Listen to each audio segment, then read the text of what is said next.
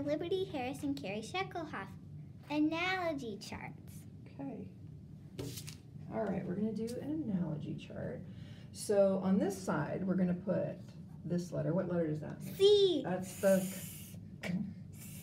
Yeah, we're going to go with a K sound here. And then over here, when we put these two letters together, what sound do they make? That's right. So I'm going to tell you a word. And if you think it starts with K, you're going to write it here. And if you think it starts with Ch, you're going to write it here. Okay, ready? The word is chip. Chip. Ooh, keep going. Chip. Oh, I thought you wanted.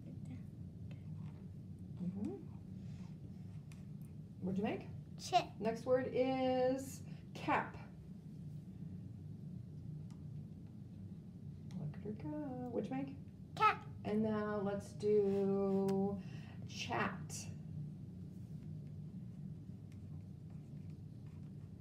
What'd you make? Chat. Good. Um, then let's do, hmm, cash. What'd you make? Cash. Good. Now let's make chin.